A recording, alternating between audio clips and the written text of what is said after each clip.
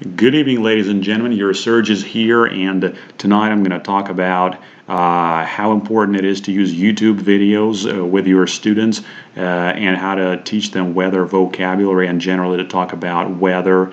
Uh, and it's pretty convenient to use YouTube videos uh, because uh, you're teaching your students natural speech. It's authentic material, and for example, you're teaching about the weather. Of course, you can first give your students some books to learn from, like like this word by word picture dictionary that I just opened up.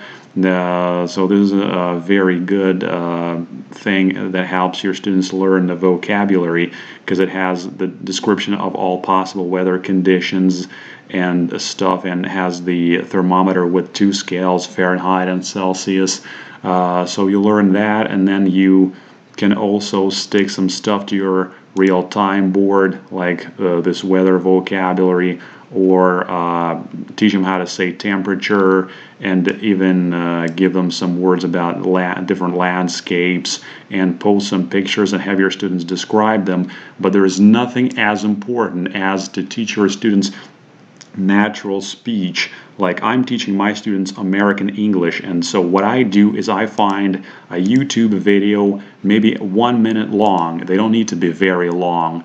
And you uh, just let your student listen to it and if the student is not very advanced you just listen to it. You turn it on for uh, several seconds your student listens to a sentence and then he uh, tries to understand what was said there and you together uh, just talk general about what was said and uh, uh, grammatically and uh, lexically analyze everything that was said. For example, in this video.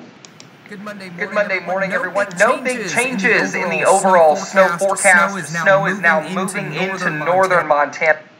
So, uh, you, like the anchor says something, and then you analyze it with your student. So, uh, the anchor just said that the snow is moving into northern Montana, and uh, you uh, you make your student uh, write down, for example, in the Skype chat, the sentence that the anchor used.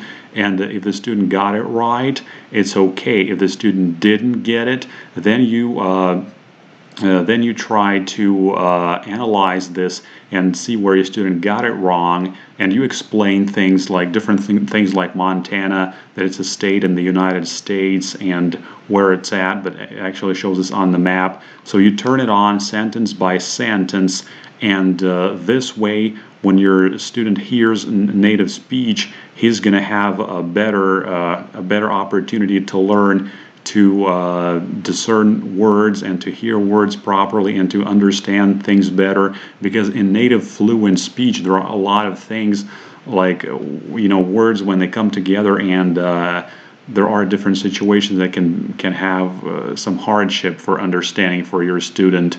Uh, so by listening to YouTube videos you make it a lot easier for them. Uh, so you do it in little uh, snippets like this it's, it's going, to spread, spread south, as we go through the day, and we'll see.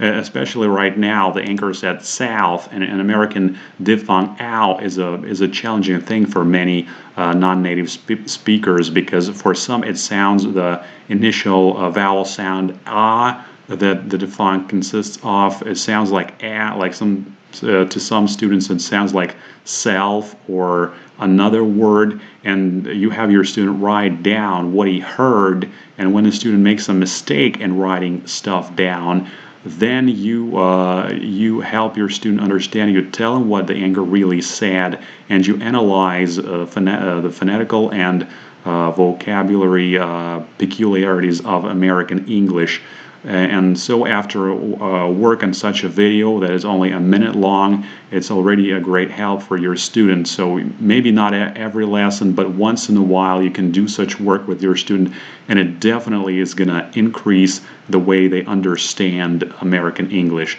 So this was your Serge Uh, thank you for listening to me. Thank you for your attention. See you next time. Goodbye.